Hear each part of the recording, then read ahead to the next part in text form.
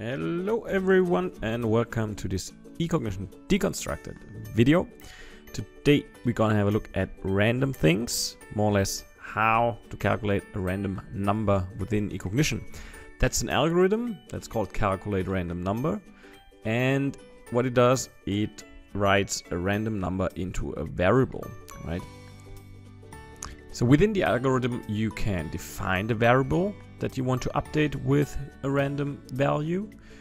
Um, if you haven't created a variable yet, you can create it within that process as well. So you simply enter name in the value field and then you can create a variable in the up popping variable dialog box, right? Enter the name of the variable and also the variable type.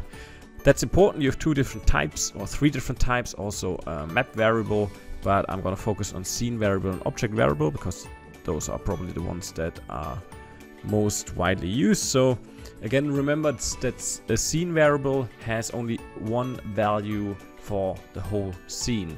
So each object has the same value because it's one scene variable. Um, the other type is object variable. That's what we're to use. And if you choose object variable, each object has a different value. So each object gets a different random value. If you say, if you choose a scene variable as output for this random value calculation, you're to get one value for the whole scene. So that's important. The calculated value is a value between 0 and 1 and has 7 decimals. Okay, let's have a look at a project. So how could you use a random value within your project? Um, one example would be to split your sample data set. This one, for example, for water. So I have 100 samples of water that I've selected and I want to split it into calibration data set and validation data set. And you could use a random number to randomly select 80% for example of for calibration and 20% for validation. That's exactly what I'm doing here.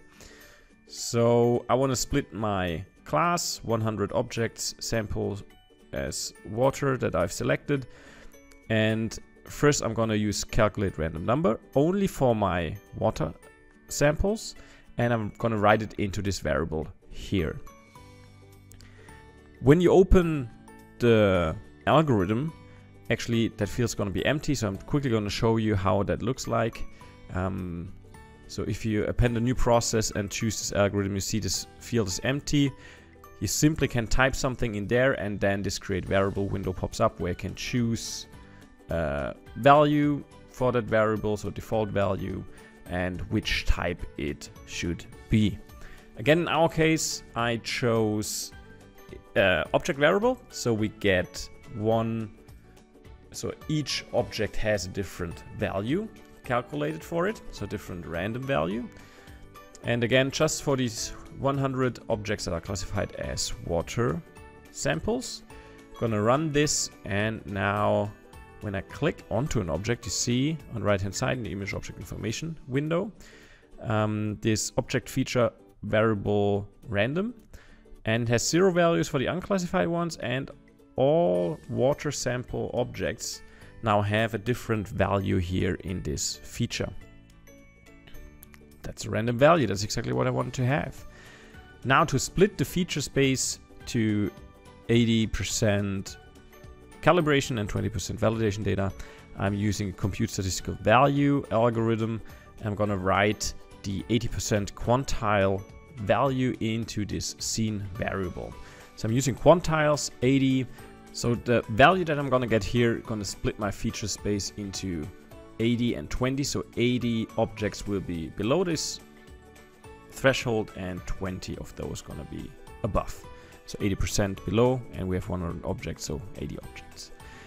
And you see here, that's a scene feature. So if I click onto different objects, to stay the same. That's 80% quantile of my distribution of the variable, the object variable that I calculated this random one. And now I simply classify. I use assign class and say, all right, if this variable that I created, the random one, is lower than the 80% quantile, put it into the class calibration.